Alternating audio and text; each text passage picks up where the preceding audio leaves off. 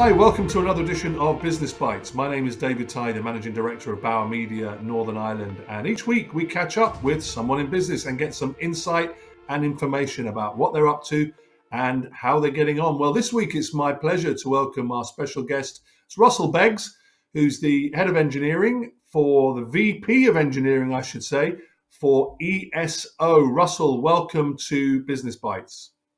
Morning, David. Pleasure to be here. Well, it's great to have you. Uh, let's get straight into our conversation. So, just walk us through the ESO story. Tell us a little bit about uh, what is ESO and how did we get to where we got to? Yeah, absolutely. So the, the story of ESO starts with our CEO, Chris Dillie, who was a former paramedic and firefighter who realized there was a better way in which he could be informed in order to, to deliver better care to other individuals. So he met up with a software engineer in Austin, Texas, in somewhere called Austin Java. They started in that place, and you know that was in 2004. Fast forward to 2022, where we're very much delivering on ESO's mission to improve community health and community safety. And the way we do that is by identifying trends in data that help the emergency services, such as hospitals and fire stations, to deliver better patient care, to prepare for better for fires, and to ensure provider well-being and improve operational efficiency. So it's really people are at the heart of it, and it's growing exponentially over that time. That's great, and you've got offices in Belfast and in uh, and the USA. Is that right? That's right. Yeah. So we have an office in Belfast. We've got offices across North America. So we've got Halifax, Nova Scotia, Des Moines, Iowa, Belcamp in Maryland, and uh, Bellingham in Washington, as well as the headquarters in Austin, Texas. Wow, so it's a real um, it's a real success story. So um, you, you mentioned that it's software for frontline workers essentially. So you know, let's break that down. If um, if if I'm uh, unfortunately taken ill and an ambulance has to come for me, and I'm in the back of it and I'm going to hospital, how do I know, or will I ever know that I've uh, bumped into anything that belongs to you? How does that work in the real world? Yeah, yeah. So I think the, the important thing there is that making sure that the providers are providing the right level of care. That's their, their primary responsibility is looking after you as a patient whenever you're in the ambulance or you're out on, on, on the scene.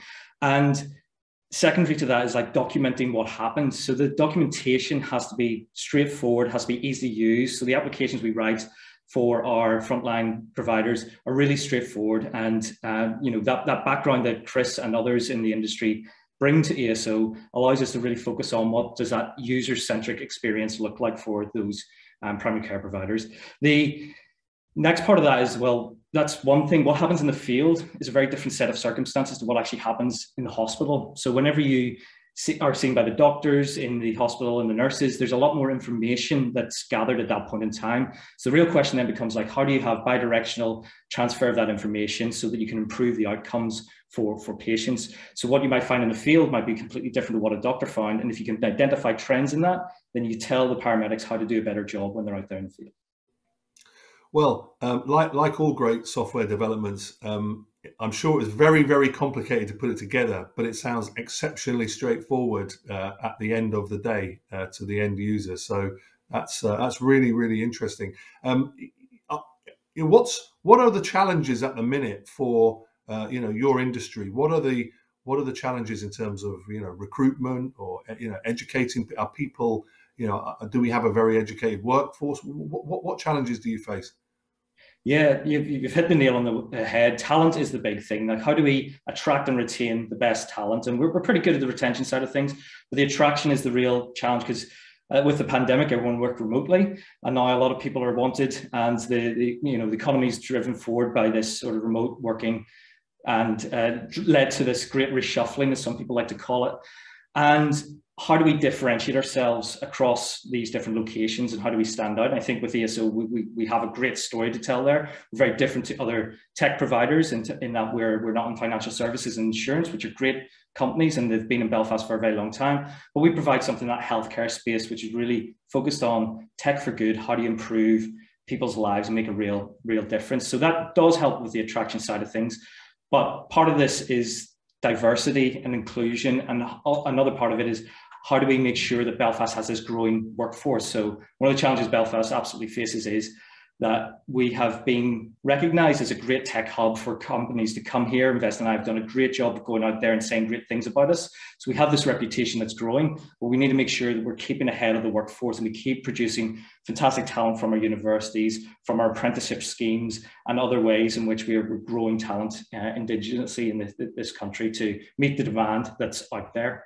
Well, I was going to say, you've got a broad horizon looking across many different markets. Um, how do you think our part of the world uh, sits? You know, where, where, do we sit in that kind of spectrum? Are, are we doing well? Are we, uh, you know, in, in, comparison? Yeah, I think this this part of the world's doing a, a great job. I think we, um, especially in, in Northern Ireland in particular, we were probably going from a a place in behind with uh, where we were with the troubles for a long time. But what we've now seen is that we've moved forward and we've leapfrogged, and it's a it's a place that's really attracting a lot of talent, a lot of great companies to want to invest in Northern Ireland. Uh, looking at what the government's priorities have been around in, investing in tech and growing these companies has been, uh, and what the universities are producing as well.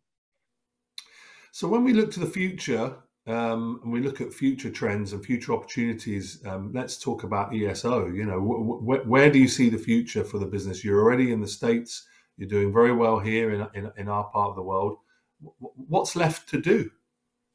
Well, yeah, there, there's so much more to keep doing. I think that's part of the beauty of our mission. It's to continuously improve the health that we, uh, the, the care that we provide, and improve the health and the safety of our community. So that's that's a goal that will always be beyond our reach, and that that's the beauty of it. So you know that's going to affect how we expand internationally. Where we've already got some customers in the NHS here. We're looking to other English-speaking countries, and uh, very much want to expand our mission of ESO across the globe and provide better care and have increased amounts of data so we can identify better trends uh, and you know really deliver on that mission. When we talk about um frontline workers and specifically healthcare, obviously we are in, in this part of the world, we seem to uh, potentially have the pandemic hopefully in the rear view window. That's not the case in all parts of the world. How has that uh, challenged your uh, your business and your industry? Yeah, so the the challenge itself is the same one that everyone faces. I guess how do we predict ahead of time where we're going to be around a lot of different stuff. And we are very, very fortunate to have a fantastic chief medical officer on staff, given how how uh, the focus of our company. So Brent, Dr. Brent Myers is, is phenomenal.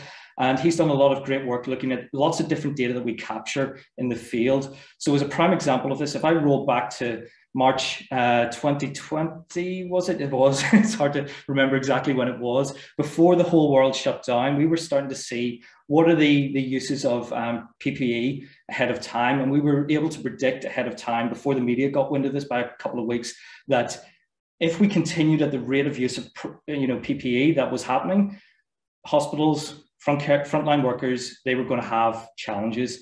So that's the sort of data that we have. And we look at um, why people are collected in, in, ambulances, why they're being transported to, to hospitals. We can look for these trends and see when the upticks are happening ahead of time. Uh, look at those leading indicators rather than the lagging indicators, and hopefully help um, help folk plan ahead and adapt as, as well as possible. Well, it's good to see that data is being used, um, you know, uh, you know, wider than just the uh, the sort of primary purpose that it was that it was designed for. Um, it's good to see. How are we doing in terms of recruitment, especially, you know, there's always been a challenge around uh, uh, women in tech. Uh, yep. How, how do we do uh, in, in this part of the world? And, and uh, is, is that on the agenda for ESO? Oh, it's absolutely on the agenda. And, and, personally, I've got two young daughters, so it's personally on my agenda as well. I, I genuinely think we've we've come a long way in, in the last while. We've come away in ESO, but we've got a long, long way to go. So, you know, looking ahead to, to my children and where they're going to be, I know there's a Women Techmakers conference that we're sponsoring this week and uh, this weekend. So I intend to be there with my daughters to get them exposed to STEM and things that they wouldn't ordinarily ordinarily be exposed to. Um, but yeah, we're, we're doing a good job. I just think we, there's so much more we could do and can do and need to do. And that starts with encouraging our kids from a very young age to be involved in, the, the, in subjects that they wouldn't necessarily have been exposed to previously. Russell, it's been great to find out about ESO. We wish you and the whole team continued success. And thanks for being our guest this week. Thank you.